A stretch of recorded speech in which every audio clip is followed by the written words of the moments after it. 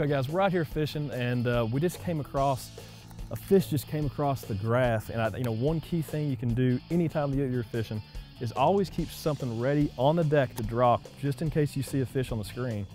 And over the course of a day, if it gets you one extra bite, that could make a big difference in a tournament setup.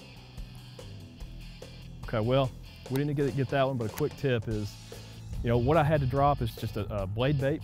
This happens to be a Jackall Keyburn, but again, that's something that's gonna get down to the bottom really quick. Again, if you get down to that one fish, get one extra bite, it could make a big difference at the end of the day. My name is Drew Sadler. And this is another quick tip from Midwest Outdoors.